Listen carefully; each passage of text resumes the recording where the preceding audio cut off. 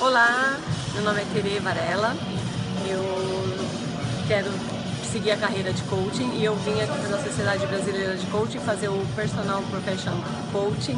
E